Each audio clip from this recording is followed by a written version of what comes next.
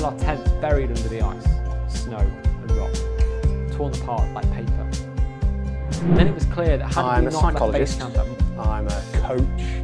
I'm an organisational consultant and an author. Like many far more learned people work- than me, I believe leadership to be a transactional endeavour built essentially on relationships.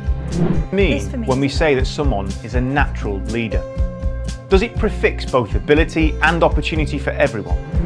On Does it suggest of a May 2017, less than a year since my world fell down in York, I completed a marathon.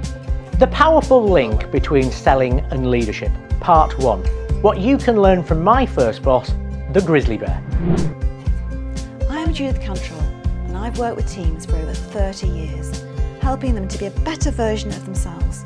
And I've loved every minute of it. Just stand and feel length through your spine, lifting and growing taller. to tell you that coaching is precisely the competency of the future if you want to remain relevant as the leader in this changing world. Coaching How to design or procure leadership development training. It's possible to create very This story and my experience underpins so many of my thoughts about what great leadership looks like. My first thought is that it's either on stage or in a boardroom or simply in a social setting. Can be, even for people like me who made a living out of it, deeply difficult